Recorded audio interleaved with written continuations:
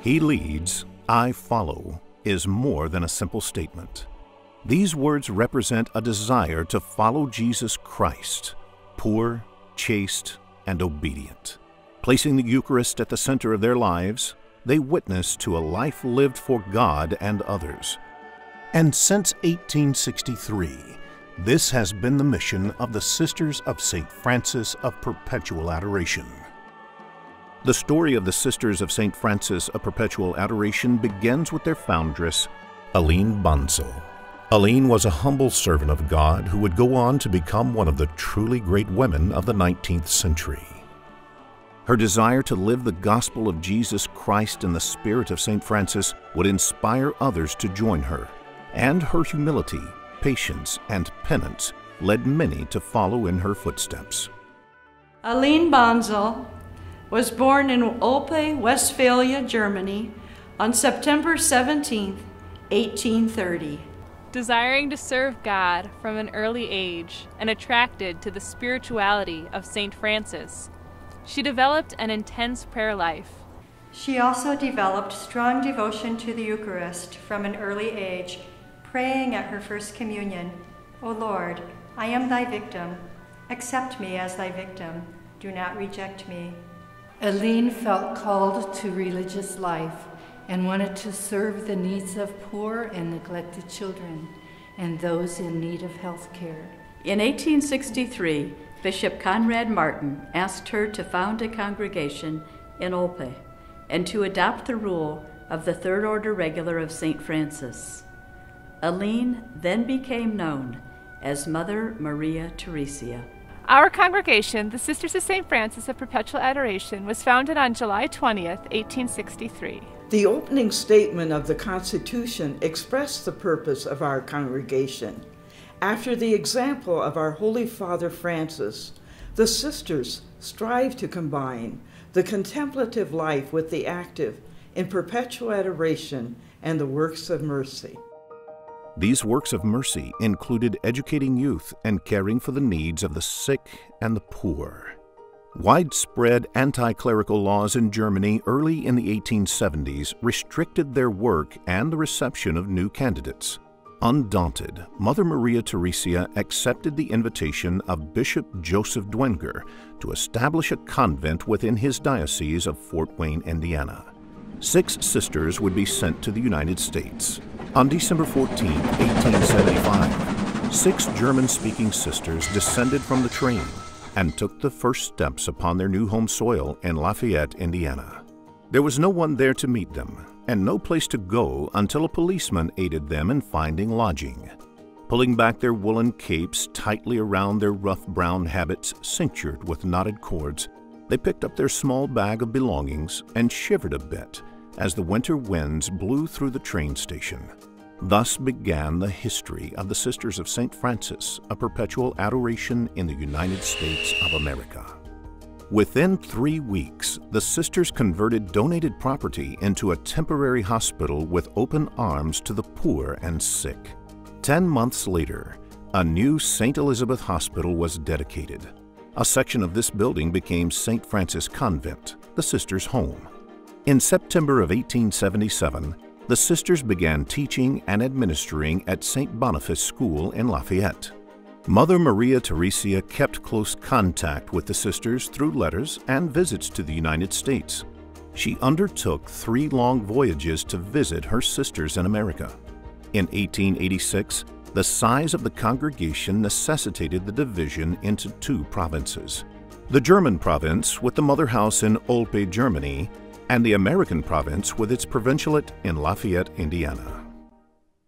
After a life of adoration and selfless service, Mother Maria Theresia died on February the 6, 1905, leaving a work richly blessed by God and a well established congregation. The motto of her life was All as God wishes, He leads, I follow. The church recognized a miracle attributed to her intercession in March 2013 that paved the way for her beatification. Those humble origins launched the sisters' expansive ministries in healthcare and education. In 25 short years, the sisters were teaching in 23 schools, and had founded 19 hospitals in Indiana, Nebraska, Colorado, Ohio, Tennessee, Missouri, and Illinois. In January 1931, the congregation was raised from a diocesan to papal community as it was placed under the guidance and protection of the Holy See. Also, due to rapid growth, the sisters in the United States were formed into two provinces. As the number of sisters in the Immaculate Heart of Mary province and apostolates grew at the Lafayette location, it became necessary to consider a different site for the provincial house. At the urging of Bishop Noll, a home and surrounding land was purchased in Mishawaka, Indiana, and in 1943, the relocation of the provincial house was made.